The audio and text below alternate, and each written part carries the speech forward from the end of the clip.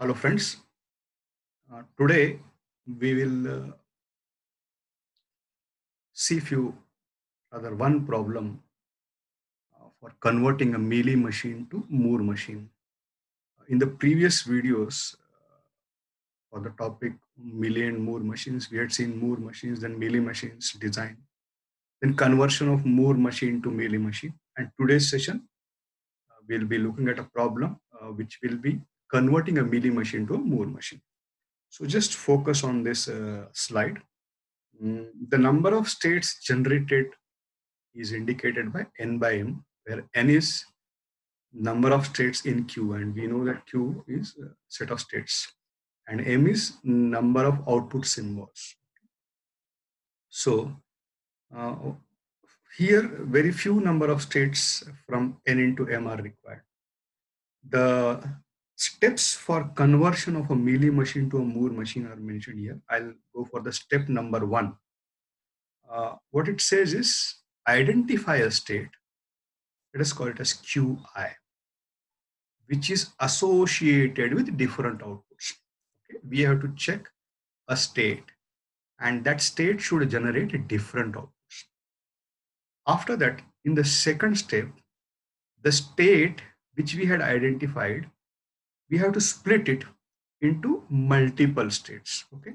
And there should be a mapping with the states with the outputs as many outputs as many states.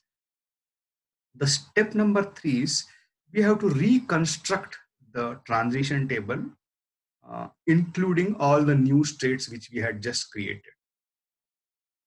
Then after doing that from that transition table we are going to reconstruct or construct the equivalent Moore machine for the Mealy machine. This is step number four. What step number five says is that if the initial state is associated with output, then create a new state and add the transitions same as the initial state of Qi and add the output as epsilon. Simply what it is saying is you create a new state and the transitions of the new state should be same as the initial state of from the transition table. And the output should be given as epsilon. Let us directly look at one problem. What the problem says is we have to convert the Mealy machine to Moore machine. Convert the Mealy machine to Moore machine.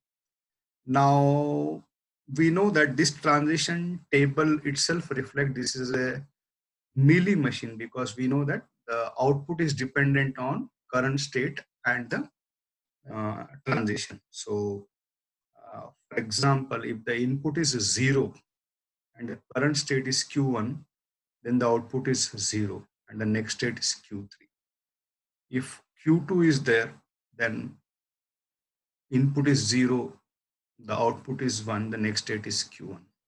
Similarly, let us say Q3 is there. If the input is one, the next state is q1 and the output is 1 q4 is there let us say.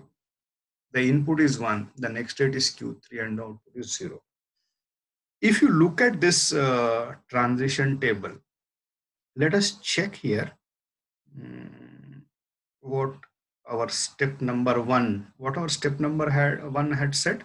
We have to identify a state which will be generating different outputs so we'll go for let us say Q1. Q1 it is generating 0 and 0. So Q1 is generating the same output. Q2 it is generating 1 and 0 different output. Q3 it is generating 1 and 1 same output.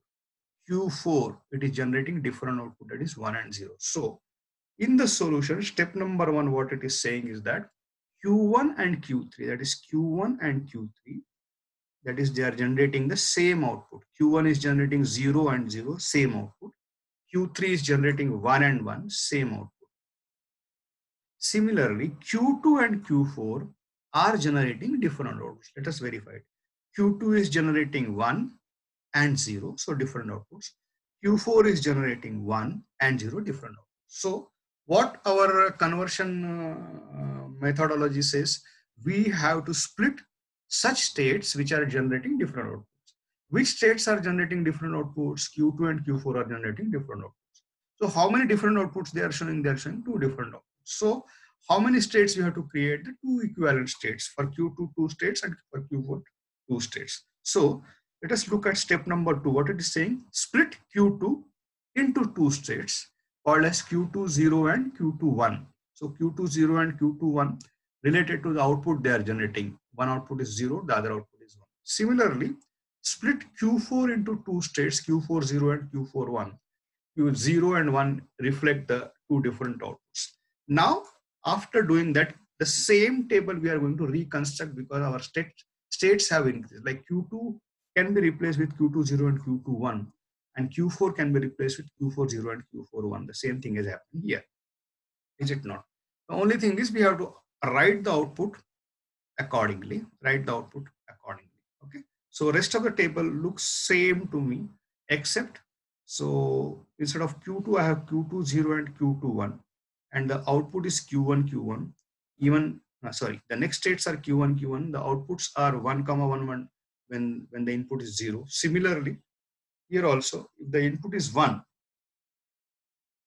the next states are again same and the outputs are again 0 0 itself so same thing is there for q3 you have written as it is except q2 you have replaced with q21 as the output is 1 are you able to see it? Q21 there is a slight change here. So similarly q4 0 and q4 1 you can see the output as q4 but we have written it as q41 q41 because the output here is 1 and here it uh, next state is q3 q3 and output is 0 0 so if you look at this table and this table what we have done is in this table we have added q20 and q21 q40 and q41 as the new states and rest of them are just mapping of this transition table with those new states that's it now here what we have done is uh, we are we have constructed the equivalent Moore machine now. How we have constructed the equivalent Moore machine? Let us just keep this as the states are Q1, Q20, Q21, Q3, Q40, Q41. Okay. Now there are two inputs. Input is zero and the input is one. For these two inputs, we are having different states as outputs, which we have taken from the previous tables. Only thing is lambda, we have separated it out. So lambda we have kept is Q1 output we have given 1, Q2 0, 0, Q2 1, 1, Q3 0, Q4 0, 0, and Q4 1, 1. I think this you can connect with, is it not? The Q1 uh, 0, then Q2 0, 0, Q2 1, 1, Q3 1, Q4 0, 0, Q4 1, 1. 1 and 0 and 1. So now what we have done is